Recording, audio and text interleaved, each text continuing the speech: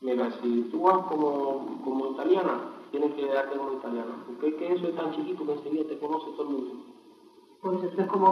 Vas a almorzar a un lugar, te conocen enseguida que eres la italiana fulana de tal italiana, o alemana. Entonces, si enseguida te reconocí, pues enseguida te Por graban. eso entonces, ¿qué es lo que Y tú...? una mujer es mucho más todavía. Por eso, pero ¿cómo es el problema de la...? Por eso, lo mejor que hay es que sacar de ciudadanía, hacerse ciudadano Pero sí, sin sacar documentos bolivianos. que digan ahí mismo dentro de la- de- de- la- del documento, nacida en Alemania, pero ciudadana, eh, ciudadana boliviana. boliviano.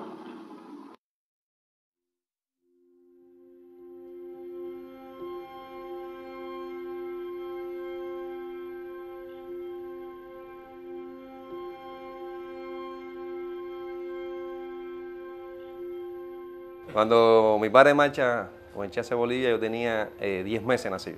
Yo tenía seis años de edad y era el mayor de tres hermanos. Si tú me pides que yo hoy tenga una imagen de mi papá, es imposible. Y te podrías imaginar a un niño de 5 años tratando de acumular información ¿no? para poder eh, hacerse esa imagen.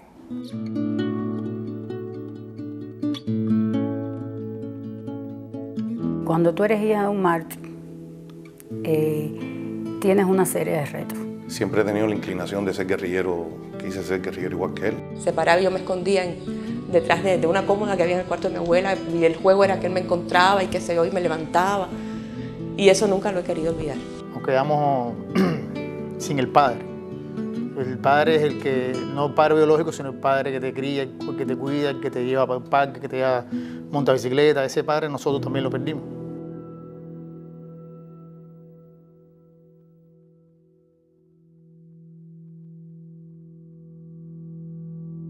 Fueron personas que lo arriesgaron mucho, triunfa la revolución, siguen metidos en el proceso.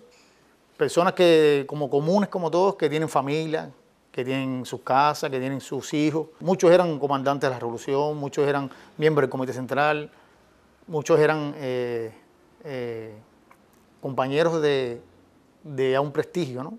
en, el- en la revolución. Mi papá, eh, antes de ir para Bolivia, fue jefe de la retaguardia, estando en la Sierra de Che. Y bueno, Che los coge precisamente por esas condiciones que él tenía, las condiciones revolucionarias que tenía y el conocimiento ya del hombre con el que se iba a llevar para Bolivia. Borrego es el que le comunica a mi papá la decisión del Che de escogerlo para un destacamento, para una misión eh, fuera de Cuba, una misión internacionalista, militar fuera de Cuba. Y Borrego me cuenta que, que lo- el júbilo de mi padre parecía como si fuera un niño chiquito con un juguete. Eso es lo que hace de mi papá para mí un hombre muy especial. Es decir, tiene la ternura para quedarse y tiene la fuerza para marcharse. Ahora sí, la historia tendrá que contar con los pobres de América, con los explotados y vilipendiados de América Latina que han decidido empezar a escribir ellos mismos para siempre su historia.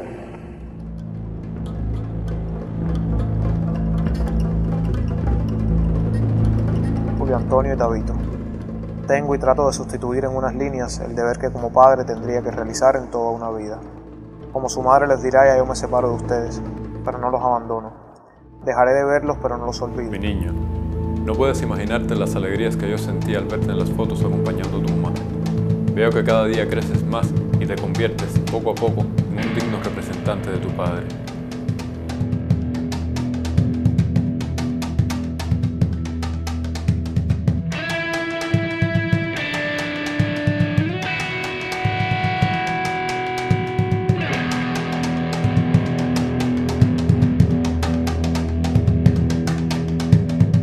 De diciembre. Hoy Ramón nos reunió a todos. Explicó algunas cosas respecto a cómo son nuestros planes. Hizo algunos nombramientos. Dice Ramón que espera noticias de Mario Monge para después hablar con Moisés Guevara, el cual dice tener varios hombres esperando para coger las armas.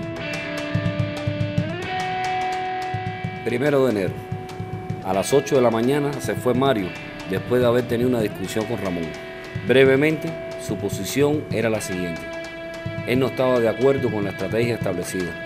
piensa que el camino más apropiado sería el de un levantamiento general y en caso de fracasar este, retirarse a las montañas. Mi querida China, mi querido hijo, que al recibo de estas cuatro letras te encuentres bien. Estoy contento con el nuevo tumainito. Recibí las fotos de cuando tenías la timbita. Te ves bonita, mi China. Mi vida, échale pienso al chino para que me releve con mi trabajo. Yo estoy bien y trabajando mucho. 14 de febrero. Desde ayer no hago más que pensar en Terry. Él viajaba con un, libro de Pablo Neruda, o sea, de poemas de Pablo Neruda. En las cartas que él le envía a mi madre de, Bolivia, por supuesto, no había mucho que escribir. Era una pequeña parte en temas personales y el resto era transcribía poemas. Y un poco que rompe el estigma de guerrillero. Por ejemplo, en el diario aparece una parte, él escribe, hoy liberé una mariposa, una telaraña. ¿Quién se imagina un guerrillero con una mochila, mal comido, en ese entorno, que se detenga en su paso a, a liberar una mariposa o una telaraña?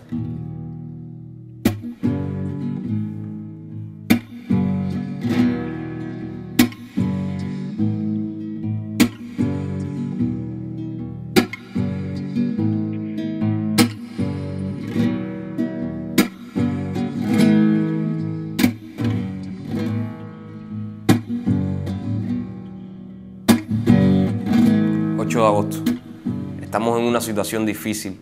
Es uno de los momentos en que hay que tomar decisiones grandes. Este tipo de lucha nos da la oportunidad de convertirnos en revolucionarios, el escalón más alto de la especie humana.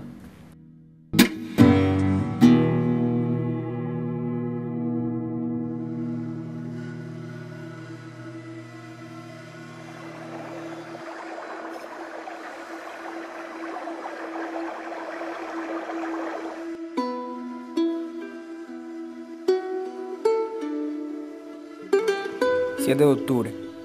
Hace un año que salí de casa. La radio da la noticia de que nos tienen rodeados entre los ríos Grande y Acero. ¿Verdad? Dan 5 millones de bolivianos por cualquiera de nosotros, vivo o muerto. Se puede hacer muchas imitaciones, pero es imposible hacer una imitación de lo que constituye casi el rasgo, los rasgos más sutiles de la personalidad, del gesto, de todas las cosas, la fisonomía de una persona y la coincidencia del diario, el contenido del diario, la zona donde el diario habla, donde están, la fotografía, fotografías que no entrega el gobierno, sino que toman los periodistas. Toda una serie de características nos permiten haber llegado a la conclusión absoluta de que la noticia es amargamente cierta.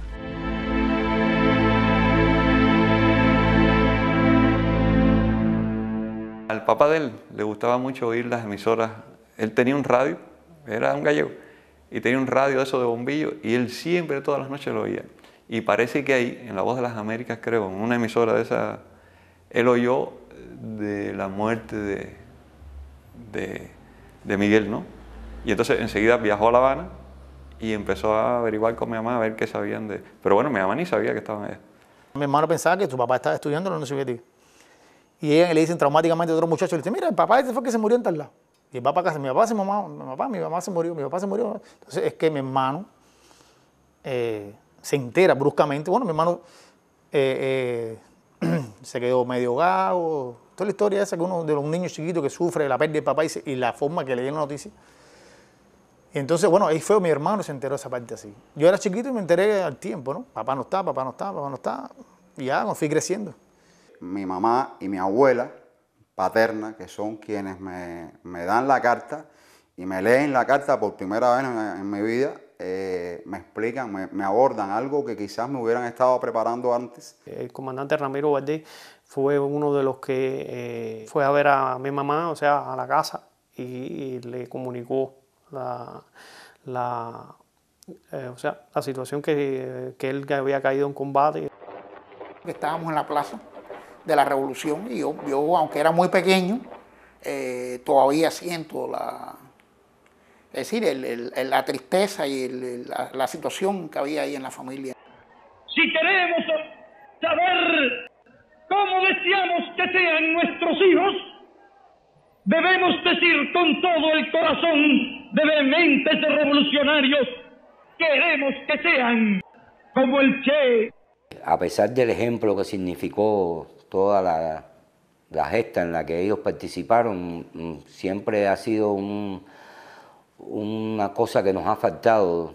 Yo tomo conciencia cuando estoy en la transición entre la infancia y la adolescencia. ¿no? Yo recuerdo que eh, estábamos en los Camelitos el primer año y preguntaron por los padres de, de todos los, los que estábamos allí que qué hacían. Y, y realmente yo rompí a llorar, eh, porque sin duda mi padre no hacía nada, mi padre estaba muerto. Cuando uno va creciendo, empieza a tener dificultades de tropiezos con la vida y al no tener una, porque siempre estuvimos con mi mamá solo, una figura masculina, eso no influyó negativamente en el sentido de decir, no influyó eh, drásticamente, pero sí, se, sí repercutió en mi interior, ¿no? Porque yo era un poco introvertido, no, no me comunicaba mucho. La revolución sí me dio lo necesario para yo educarme, para vivir. Pero bueno, ese, eso no lo puede suplantar, ese cariño, esa falta de no la puede suplantar por mucho que la revolución se envió en eso, no, realmente no. Tú ves a los demás niños con su padre y dices, coño.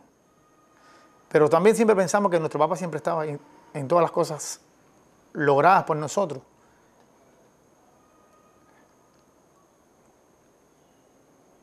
Ellos estaban ahí. Tanto el mío como el de los demás.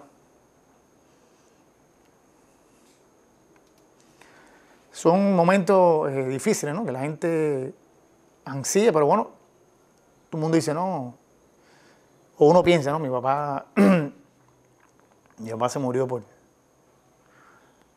por una causa justa, por una casa, por un ideal. Dicen que, que- que lo que no puede faltar en la vida es la, madre, pero yo creo que las dos cosas son importantes en la vida. Y más en la formación de nosotros.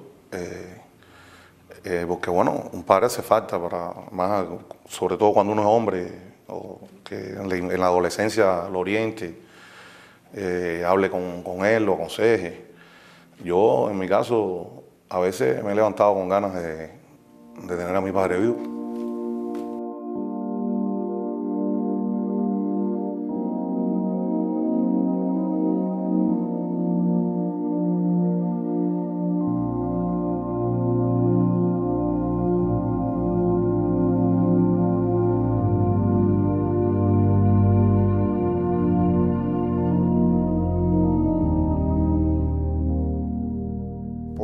Años yo, me adapté un poco a la, circunstancia de que, de que, bueno, mi padre está en la selva boliviana, ahí con la naturaleza de, ese lugar agreste que después conocí. Muchos años puedo decir que pensé que algún día podía pasar algo y, y que iba a aparecer vivo, algo, no sé, cualquier historia de niño, como un crusoe o algo por el estilo.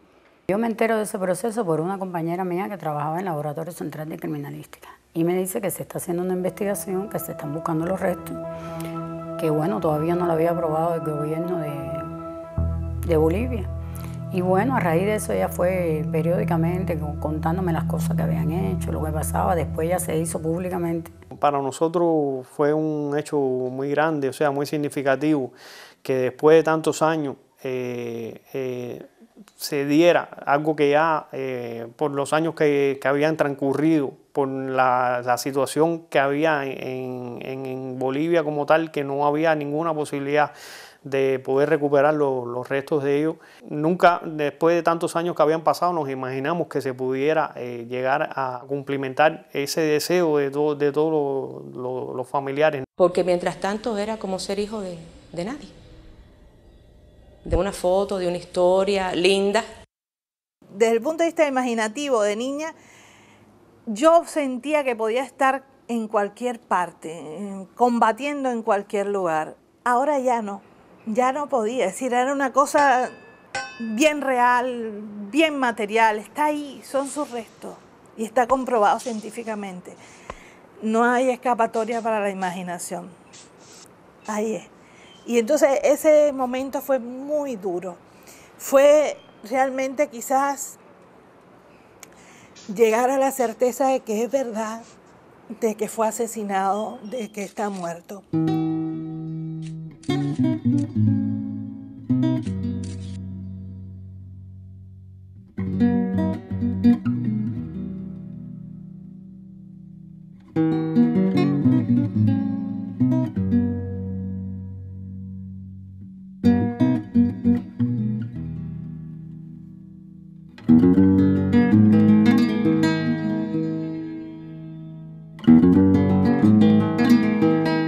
Sinceramente, el primer momento a mí me chocó, ¿no? Dije, chicos, si ellos se fueron todos juntos, decidieron estar todos juntos y morir todos juntos, los van a traer a todos, ¿no? Sí, sí, se van a traer a todos. Pero ellos no decidieron morirse. ¿Por qué los vamos a atrapar? Pero después te pones me puse a pensar y digo, uno piensa en mi mamá, mi abuela, sus hermanos y nosotros hijos, ¿no? Que no tuvimos, no tenemos nunca un lugar donde poner una flor. Donde sentarnos a, a meditar algo, ¿no? O incluso a pedir un consejo. Entonces, bueno, estuvimos de acuerdo. Yo lo miro más bien desde el punto de vista social. Como quiera que sea, eso fue una inyección de, de, una inyección al pueblo, una influencia, eh, de rescatarlos, que sí, que no se quedan abandonados, son combatientes, ¿entiendes? No se dejan, eso es como dejar un herido botado. Mi idea fue que nunca fuese a ningún mausoleo. Mi idea era, fue, que ya era el momento en que él nos pudiera dedicar un poco de tiempo a nosotros. Eh, tal, vez, tal vez puede interpretarse como un egoísmo de mi parte, pero bueno, eh, por muchos años le, dedicó su tiempo y su presencia a otros. Y yo pensé que era el momento de tenerlo más cerca de mí, eh, aunque sea para, para yo poder conversar con él, aunque no me escuchara. Quisiera haberlo tenido más cerca. Quisiera que el mausoleo estuviera en La Habana, por ejemplo. Cosas muy personales de visitarlo cuando yo quisiera, no cuando pudiera. Más importante que los restos del Che y de sus compañeros estén en Bolivia, estén en Santa Clara o estén en La Habana, es que el ejemplo del Che y de sus compañeros esté en La Habana, esté en Villa Clara y esté en Bolivia.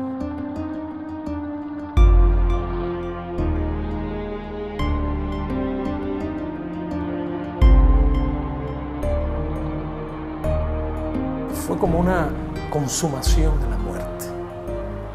Eh, cuando te digo consumación de la muerte, es que bueno, a él lo mataron, pero ¿a dónde llegó o dónde estaba? Aunque hubiesen sido restos. ¿no?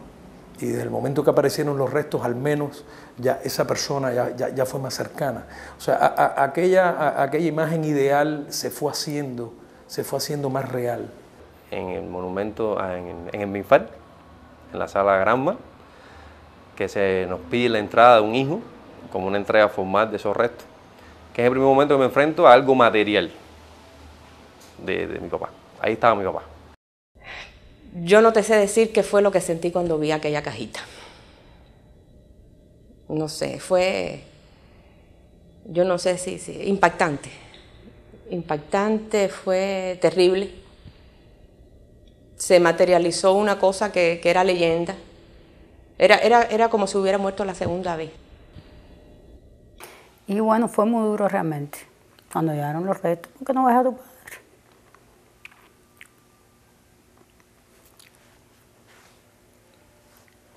O sea, ves una caja de una persona que no conociste. Mi abuela en una ocasión, voy a hacer esta anécdota, en una ocasión cuando aparece el primer grupo, le dijo al comandante jefe, a Fidel, que lo único que ella quería en su vida, antes de morirse, que tuvieran sus dos hijitos.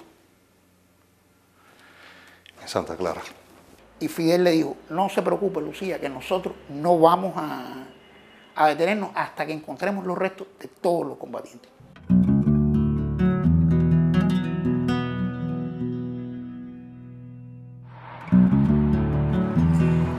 Pensé también que una vez que llegaran los restos de mi papá a Cuba, un poco iba a pasar lo que me estaba pasando a mí, es decir, que la imaginación dejaba de existir, que ya tú sabías dónde estaban y tú un poco como que ese misterio, esa mística que había a su alrededor comenzaba a desaparecer. Error. Yo creía eso. No. Todos ellos, otra vez, volvieron como al combate.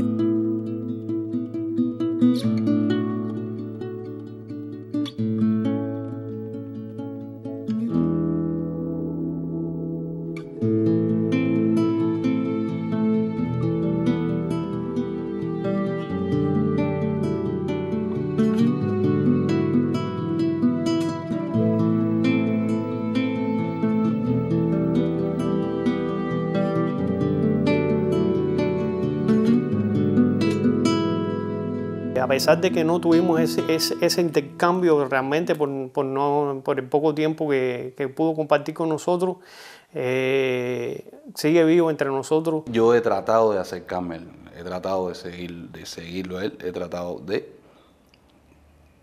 como si aún viviera, no defraudarlo, sino quedar bien con él. Yo me quisiera parecer lo más posible a él, es normal.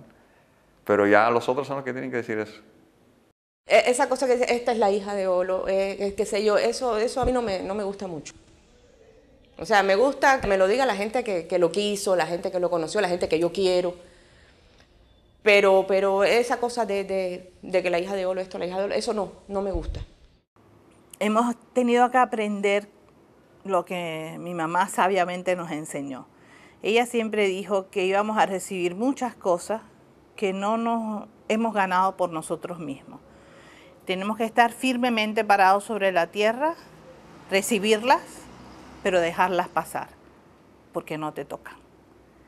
Y eso fue muy bueno y ha sido muy bueno en nuestras vidas siempre. Es decir, saber lo que tú te ganas como persona, como profesional, como ser humano, y lo que te dan porque eres la hija del Che.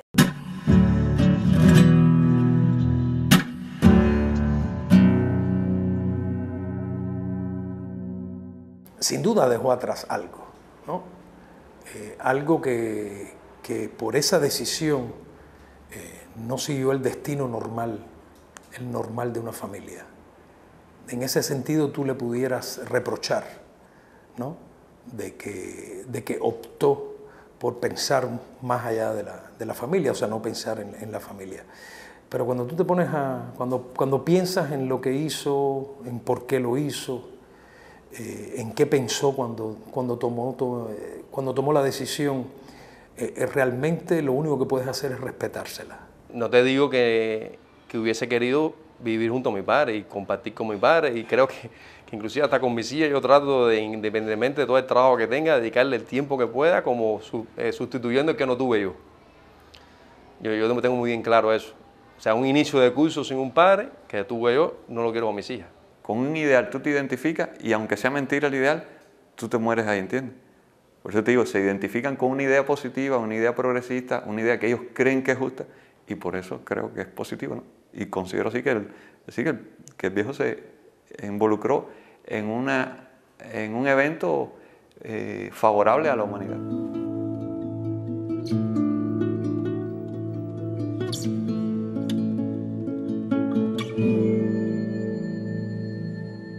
A pesar de haber sido un fracaso desde el punto de vista militar, considero que sí, que valió la pena y que significó una herencia para todos los movimientos revolucionarios.